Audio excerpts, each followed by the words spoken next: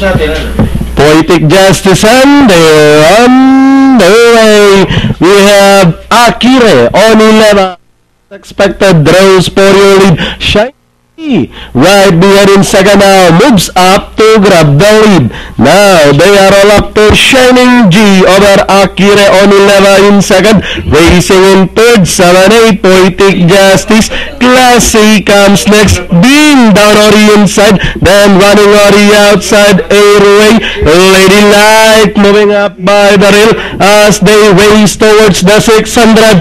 Shining J still leading the field. Akire Onileba keep on hugging in second. 7-8 Poetic Justice. Rush Iwapari outside as they race at a 450. Shining J still leading the field.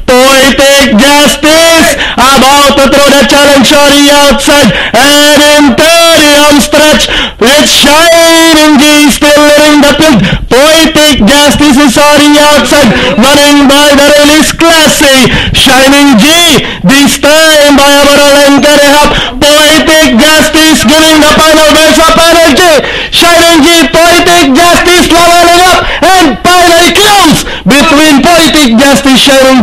Classy, then comes 7, Babes Magic, Being, Akira Onileba, and Gold Caviar for your Super 6.